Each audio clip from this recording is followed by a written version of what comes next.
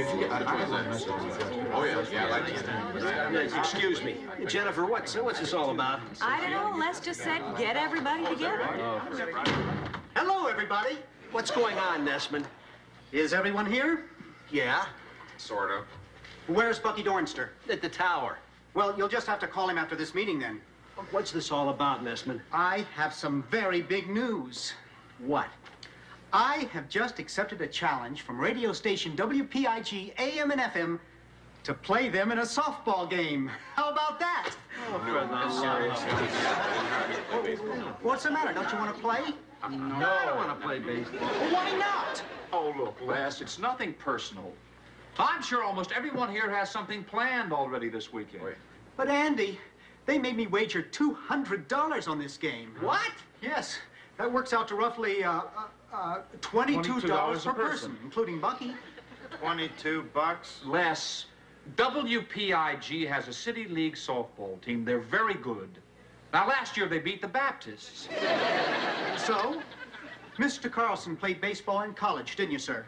Well, yeah. They called him Moose, didn't they? he told me he was a great, great athlete. Shut up, Les. Venus is a great athlete, too. Well, thanks, Les. How'd you know that? Simple. You're a Negro.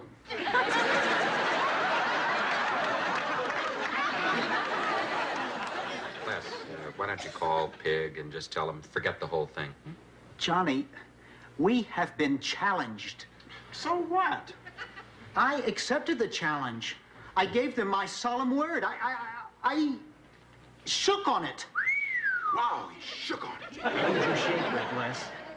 The WPIG station manager, Clark Callahan. Clark Callahan. Ooh, that dirty swine. He'd love to get us out on that ball diamonds just to humiliate us. Yeah, I know. Forget it, Nessman. Forget it. Forget it? That's easy for you to say, Mr. Carlson. You were a baseball star. I bet all of you had a chance to play baseball when you were kids, didn't you?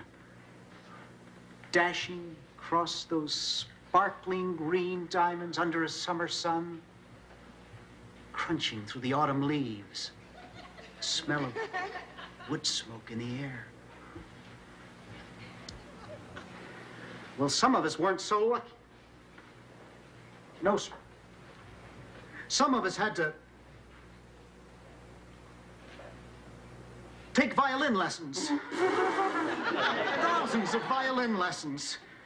We never had a chance as children to play the great American pastime. what about us? You mean, what about you? All right, Herb. What about me?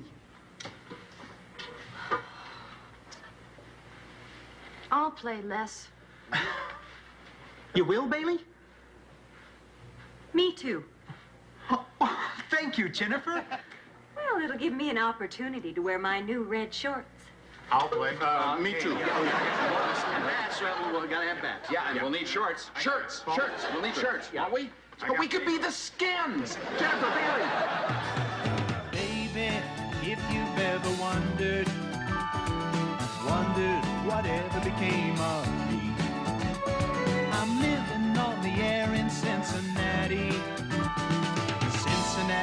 WKRP. Got kind of tired packing and unpacking, town to town, up and down the dial. Maybe you and me were never meant to be. Just maybe think of me once in a while. I'm at WKRP in Cincinnati.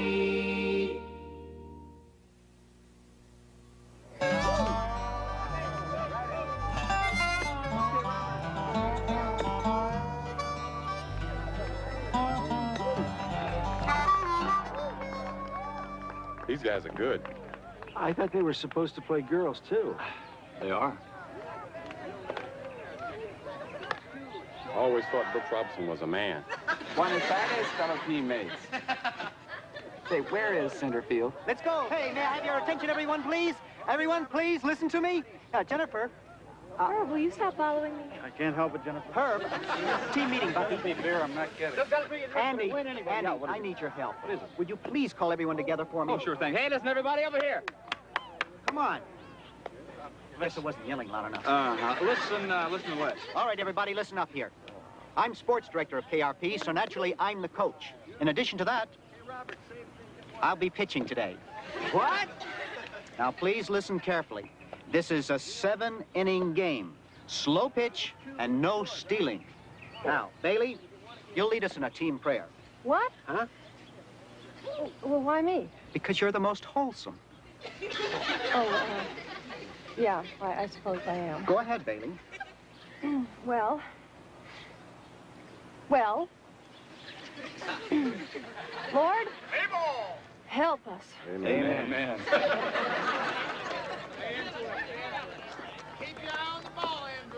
Let's go, Andy! Come on! Way to go, Andy! Way to go, Steppin!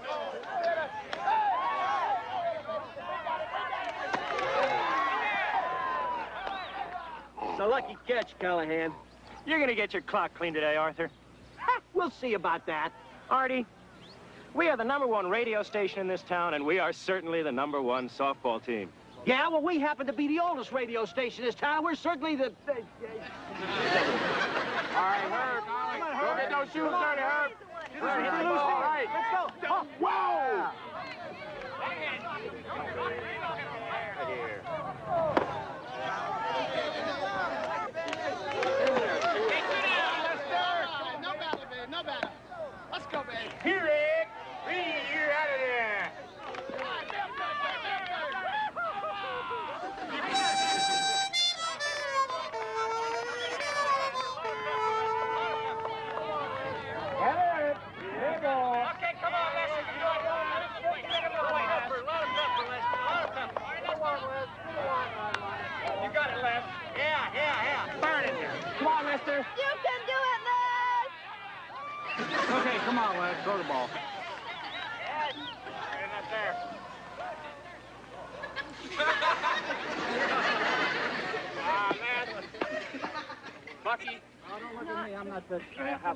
Yours feels great. Arm's fine. All right, look. What's the uh, matter? Les, oh, hold it down, hold it down. No, Les, why don't you uh, try third base for a change? Let Mr. Carlson here pitch. No, I'm the pitcher. I pitch. Look, Les, try third base. No, I'm not going to do it.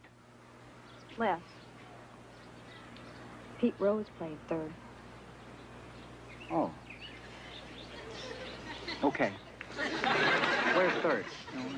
Oh, boy, oh, boy. I guess it's up to you, uh, Moose. Come on, Moose. Come on, Moose. Take to the boat, Moose. Take to the boat. Come on, Moose. Let's go, Mr. Carl. Come on, Moose.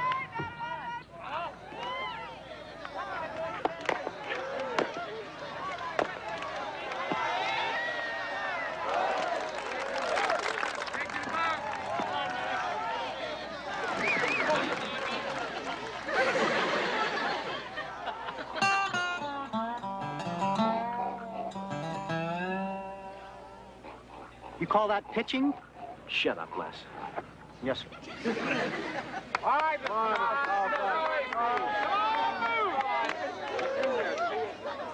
Strike three, bat is out. Way to go, Moose. Oh, come on, Callahan. It's just a game. Oh, sure it is. Sure it is.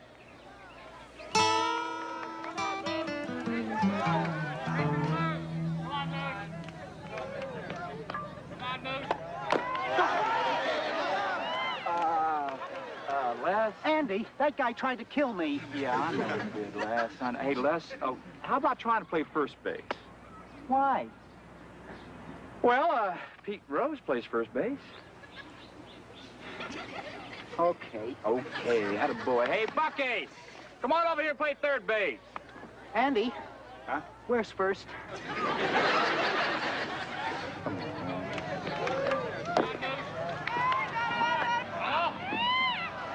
To go, Bailey. That was really good. Oh, terrific. Am I supposed to catch that? Les, many, many great ball players have played right field. Now, there's Clemente, uh, Aaron. Who are they? Never mind. Andy, this is so embarrassing. I'm the station's sports expert. This makes me look so bad. Now promise me you won't move me again. Okay. Now look, you just stand, stand right here, okay? Okay. Okay. Lester, time for violin lessons. Yes, Mother.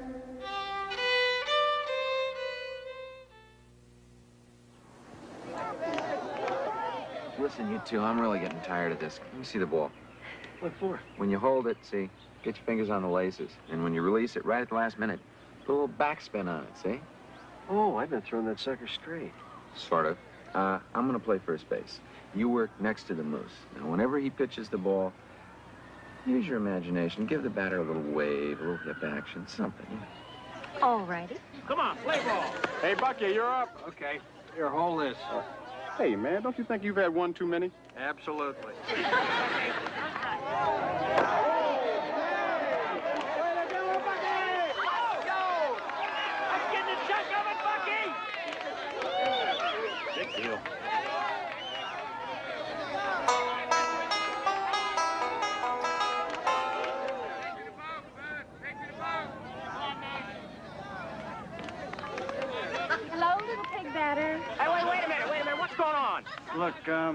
she's our center fielder, and she's just uh, playing a little tight, you know, that's all.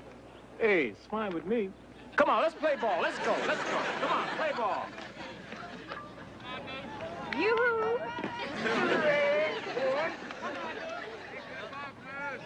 All right, evacuate a little beat. Come on, move. Come on,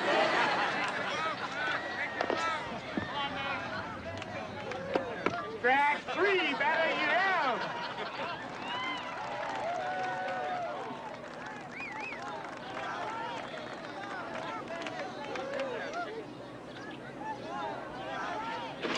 Uh, Mr. Carlson, I, I think you're up. Oh, I am? Carlson? Get a hit. Look, Andy, I really did play a little baseball when I was in college. Yeah, I know that, I know. I think it's my eyes. I think I need glasses. Look, it's going to be all right. Now, listen, you can do it. Get a hit, Moose. Sir, uh, Sir Moose. Uh, Mr. Carlson? Listen, Les. You know, many great ball players have played in more than one position, right? Strike one, batter. Sure. Should have stuck to the violin. My mother was right. I'm no good at sports. Strike two. Only thing I've done out here today is make a fool out of myself. No, what are you talking about? Come on, Moose. Strike three, you're out, batter. Good boy, Moose. Better luck next time, AC. Yeah, sure.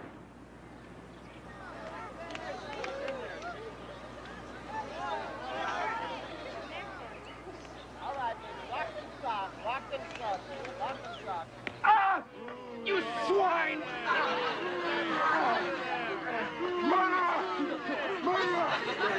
Batter, take the base. Just leave me here, Carl, without me. I'll only hold you back. All right, Bailey. Come on, let's keep it going. Going? Where are we going? Come on, Bailey. Come on, Bailey.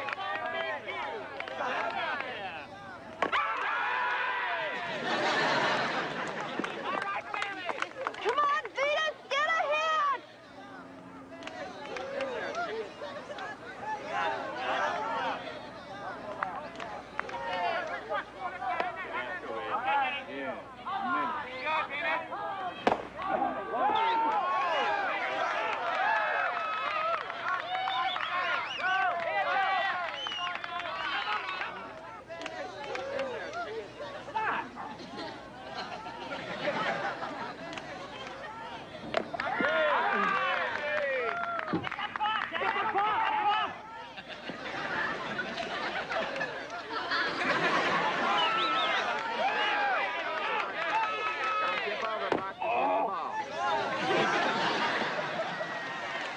Okay, two down.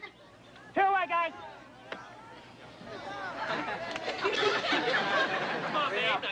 Lay into it. Lay into it, Jerry. Keep your eye on the ball, Andrew. Keep your eye on the ball. Lay into it. Whoa, go, go. Oh,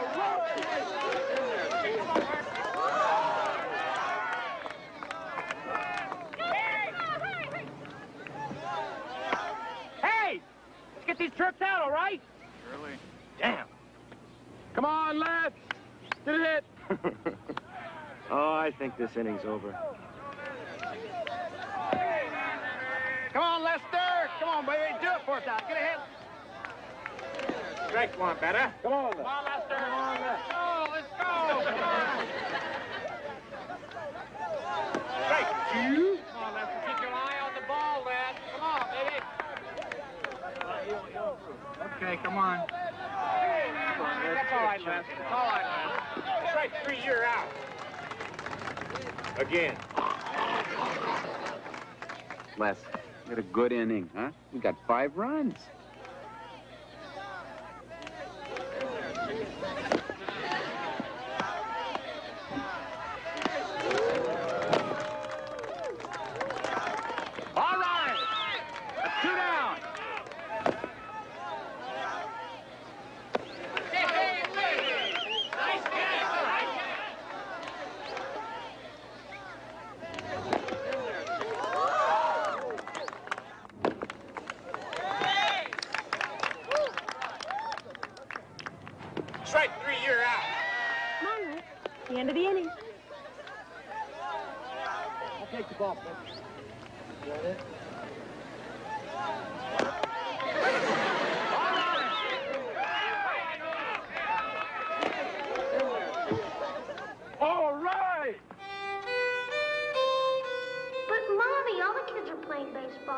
Lester, today's the recital. You don't want to miss the recital, do you? No, ma'am. I guess not. Hey, Les, we're up to bat. All righty, folks. Now, this is the situation. This is our last time at bat. The score is 9 to 6. Now, we need at least three runs or the game is over. Jennifer, you're up first. Get a hit. How about a walk? That's fine.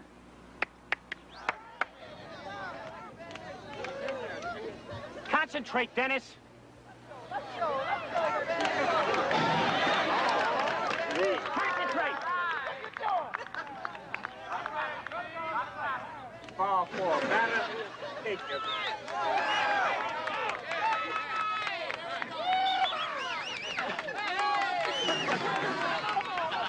Dennis, throw the ball across the plate. All right, let's go, let's go. Oh, uh, Mr. Second Baseman. Come on, Bucky. Come on, Bucky. All right, Bucky.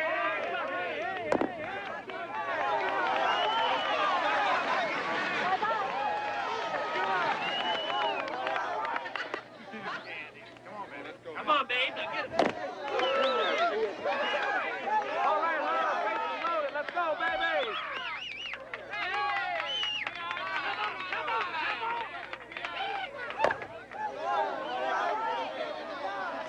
That's all right. It's all right. Did a good job. Let's go. Let's go. We'll get him. Who's that, Nick? Les. Oh. Come on, Come on, Lester. Let's go, let's go. Come on. That's Lester. Okay, let's, let's go. Please, Lord, let me hit the ball. Eye on the ball. Come on. You're out of there. One more out. One more out and the game is over. Now, I don't know how to tell you this, AC, but uh, you're up.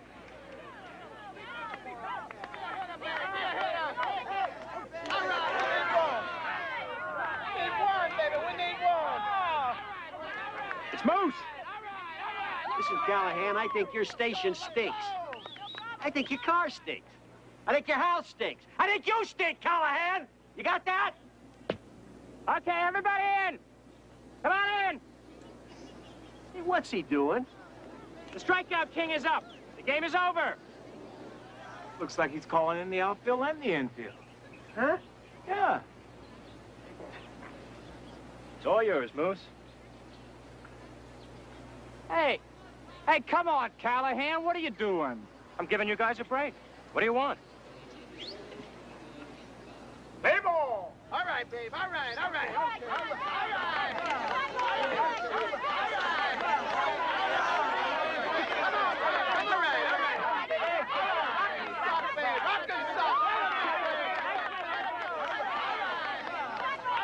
Track one, batter. Okay. Okay. Come on, come on.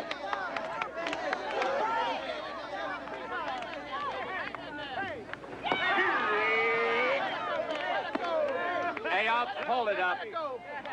Time out.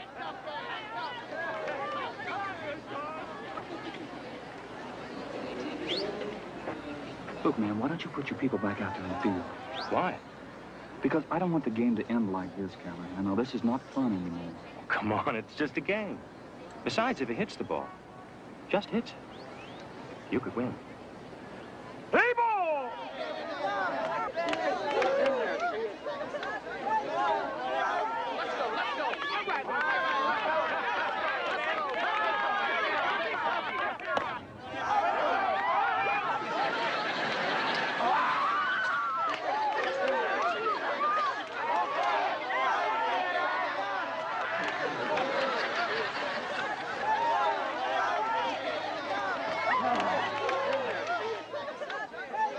Hey, come on, Mr. Carlson! Run! No, sir. I'm going to enjoy this.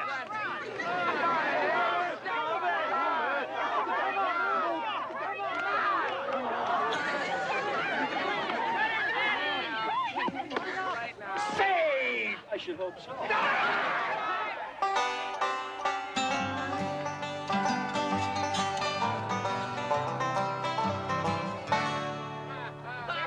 All right, now. This is it. I told him. Listen, Jan, why don't you just go play center field? Are you sure? Yeah, listen to Moose can handle this. Okay. Take to the boat, Take to the boat. Come on, Moose. Please, Lord, don't let him hit it to me.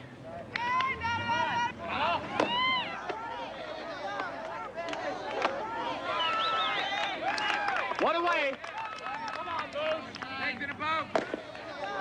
I got it. All right. Two way.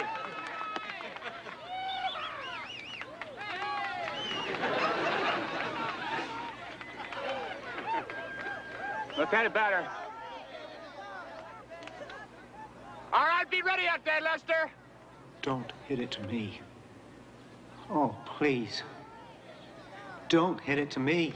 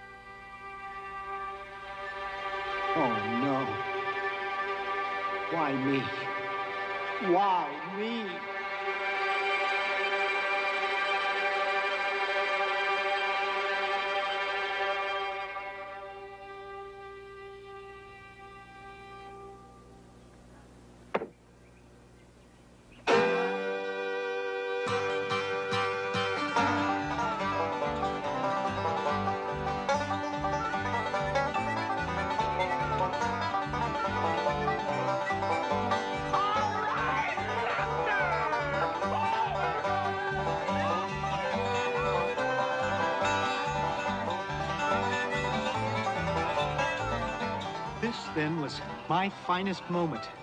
A thrilling, frightening event like this usually comes to boys, and now girls, when they are 11 or 12. For me, it would happen 27 years later. I am reminded that George Bernard Shaw didn't have his first great successful play until he was 49 years of age. Beethoven didn't write his Ninth Symphony, my personal favorite, until he was 53. I know now how these men must have felt. Beethoven was totally deaf at the time, by the way. Not everybody knows that.